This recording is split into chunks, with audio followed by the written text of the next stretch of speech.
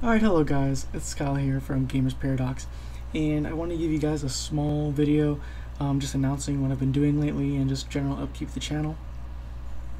So first thing I've been doing is, is I've been uh, actually collaborating with uh, BBCorp um, with his uh, Universe series in WWE 2K17, and uh, I've had a lot of fun doing with them. I did episode 2 of his series in the next few episodes. I think episode 14, 15, I think are the next two I'm in. Um, I just want to give him a shout out, say thank you for letting me uh, help out with that. And uh, I've seen a small influx of uh, views because of him putting me in the description and announced me on his video, and I thank him graciously for that. Um, but aside from that, please go check out his channel. I would greatly appreciate it if you gave him a little bit of love from our side. Anyways, moving on to the next part. Um, so aside from YouTube, what I've been doing is uh, I've been learning to play jazz piano. Um, I've been trying to learn a little swing piece, uh, Autumn Leaves, and I've been having fun with it. I'm just learning.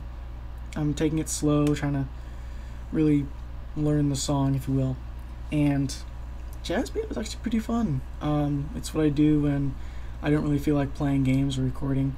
Uh, I just kind of sit sit down at the piano and play.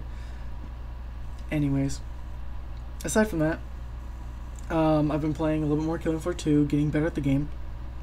Um, I haven't really done much with it. I've played a little bit more Sharpshooter from the Allow Me to Introduce Myself video. Um, I've been learning to play support, as you can see in this video here. But uh, I've been trying out just about everything other than Survivalist because from what I've seen, Survivalist is not worth to be played. Well, it's not worth it um, in higher difficulties. And I'm gonna die here because I get knocked over by the freaking carousel. Um, boom, and then flames. Um, anyways, so I've been playing this a little bit more, um, and I've pretty much gone to where suicidal feels like hard and hard feels like normal and normal feels like easy. Uh, so I tend to play a little bit more suicidal nowadays. Anyways, guys, so this video has a small little thing in it too. Um, the reason why it's so short is because the footage itself is, I think, 6 minutes 30 seconds long. Um, so just want to give you that. Uh, and there's a reason for it, and you'll see it. Um, but the big problem is that our medic separated away from us and our SWAT guys couldn't keep down the trash. So I tried to help out a bit. I'm playing around with my shotgun, pressing R a bunch of times. Um, but yes, aside from that, uh, if you guys are playing suicidal and you're medic, don't be a combat medic. Just just be a full-on medic. Just heal your teammates, please. Stay near them.